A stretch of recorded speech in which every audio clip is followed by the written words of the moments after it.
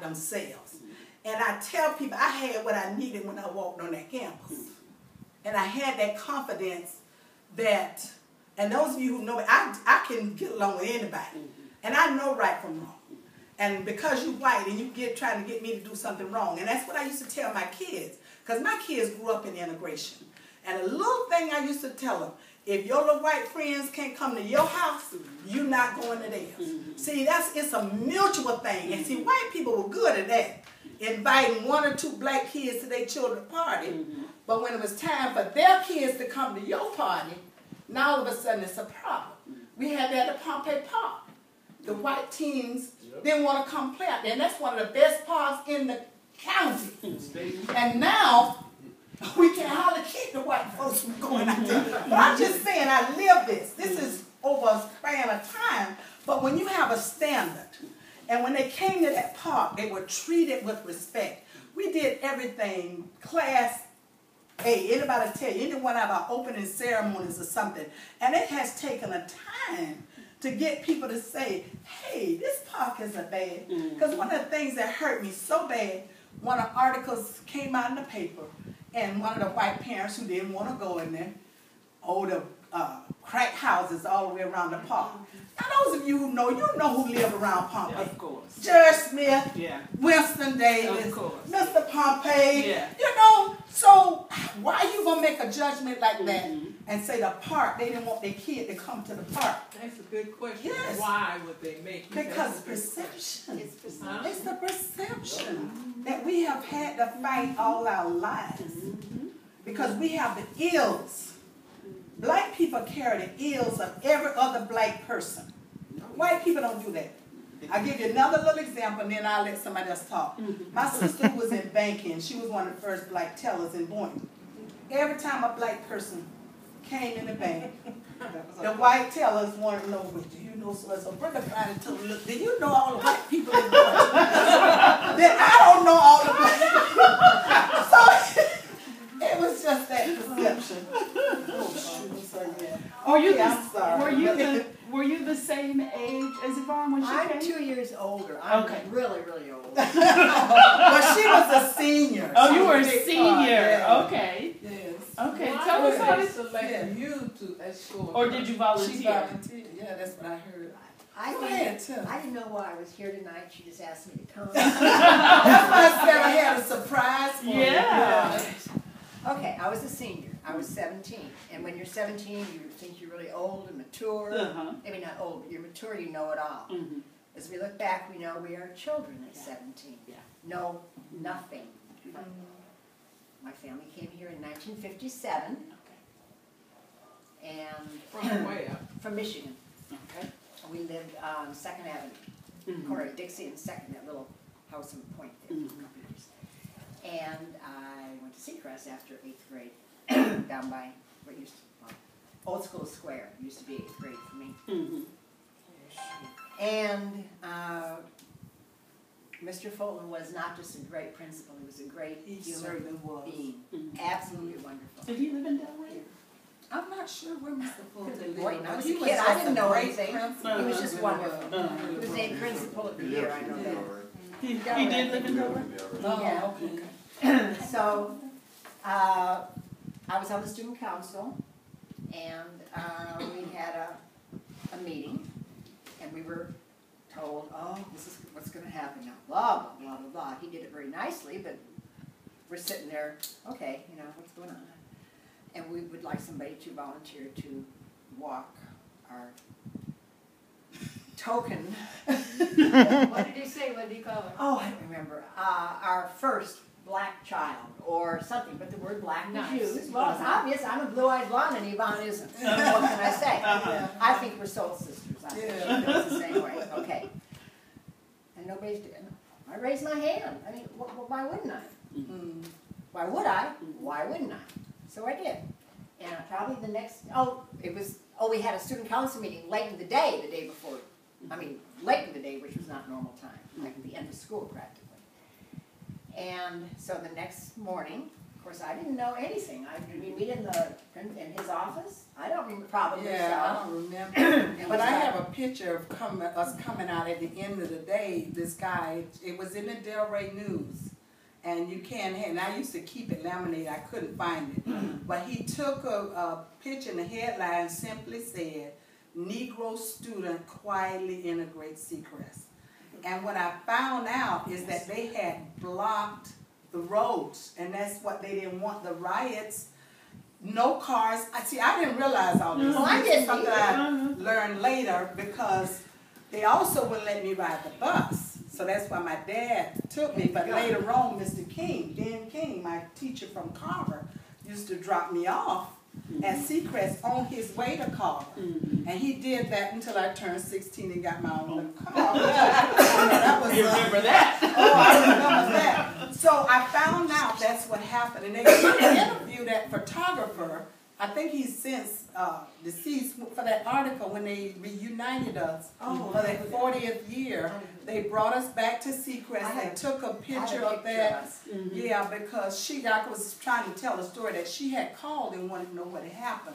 Mm-hmm. Because it was during Black History Month. Mm-hmm. And I guess it just piqued her interest, whatever happened to me, and that's how we did it. And, you know, we periodically get together now and have lunch and, you know, stuff. But it's just, I, I felt it was good to hear her side of the story. Because adults do things, you don't know what's going on behind the scenes. You really don't. You really don't. And uh, it was good to hear Miss Hudson, she and I talked yesterday of some of the things that she had uh, experienced and told me about uh, as an adult, because she was my teacher at Carver before I left. And I'm telling you, I, I just gotta tell, you know, I had wonderful teachers. I was a pretty good student, you know, I must say. But I missed having been there, and I always say I probably would have been a tiger bear if I had stayed at uh, at Carver because I was really fast. and when I went to Seacrest, I mean, they just never seen anybody like me before. You know, I uh-huh. outran everybody. I played better than everybody. So, yeah. So, oh, I'm sorry. Okay, I wanted to, I wanted to say one thing, Yeah. one more thing, because I don't want y'all to think that they just came and took us from the school and integrated. They knew two years ahead of time. I was just sitting there thinking about it. They knew two years ahead of time they was gonna do this, mm. because I was in eighth grade out to Carver. They had students from Boca mm-hmm. to come to Carver, mm-hmm. and we had student council meetings. And then they had students to get with the black kids and talk with them. And they had certain ones to say, who would you pick to be your friend if you had to come together at school? Hmm. This when we was at Carver, Uh-huh. in eighth grade. And, no, no, no, Jerry Junior High, was in ninth grade. I know if I played football. Okay. You said they had students with They their had white race, students, they had oh, or white students students come came to, to come, Carver. come to Carver, and we had student council meeting in the mm-hmm. cafeteria. And they let us talk to each other, mm-hmm. but they knew they was gonna integrate the school. Mm-hmm. And then, but we didn't think we was going because they're, the ones that went to Dare Junior High, our ninth grade year, we didn't know they were gonna s- switch crosses. Right. But we still ended up going to Boca, and some of the people that we met in that meeting at Carver, I met, I know, we became friends. Mm-hmm. Because I came with one, one guy, I was friend all through high school. Mm-hmm. And be- I didn't find out till I was about twenty-four who he was. Mm-hmm. And he and I was like this, and he was one of the Gambino kids. And he, he just clicked with me. Yeah. And everybody couldn't understand. His name was Steve. And he he lived on the beach in Boca. His parents who lived in Boca. Because dad was part of the mafia. But I never knew that until I got grown. And he saw me at the age of 24 and we started talking. And that's when I found out who he was. All the kids, why, why you always hanging with him? Why? He won't talk to nobody else. Uh-huh. But he and I became good friends. Huh. And so they didn't just take us and throw us together. They, they knew this was coming on Uh-huh. Uh-huh. Two years ahead. Do you, s- But Have you still heard from making- him it's still recently? making no better. I haven't seen him since I've been back, but we moved. oh, She worked with IBM and then we ended up moving to Orlando for Uh-huh. 22, 22 years or 21 years. Now we just came back. oh, But back I for think good? he's still, uh, by Faith Farm, he had a nursery out there Oh, when I was younger. okay. So, Hudson. All right, Miss Hudson. I was- I said, I started teaching in nineteen fifty at Carver. And one of the things I think we missed out when we integrated was the nursery that the black teachers had for kids. I remember from nineteen fifty to nineteen sixty-eight, each homeroom class that I had, I went and visited the parents, went to the homes, went to Boynton. And, uh, I think the kids kind of missed that for the simple reason the kids were acting ugly in the classroom. I said, okay, I'll see your mama. And the bigger problem we had at that time was chewing gum. I know people now would love to have that for be the biggest problem. But uh, you would meet the, your parents in church, You'd meet them in the post office, or you meet them. But we were we were assigned to go to these homes and talk to parents. And at that particular time, parents wanted their kids to learn.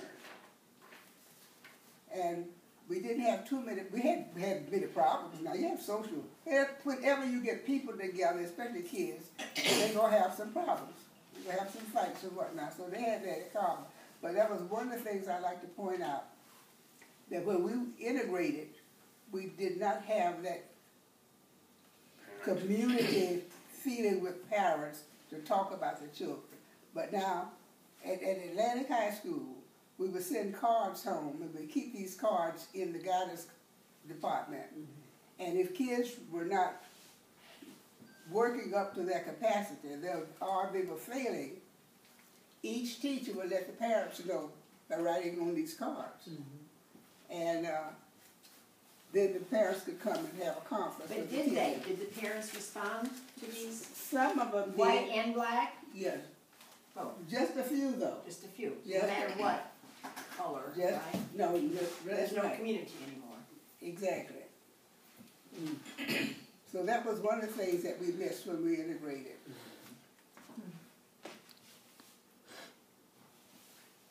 Well, Okay, anyone else? I'd like to just mention that in 1948, no, nineteen sixty-eight, uh, after the teacher walkout,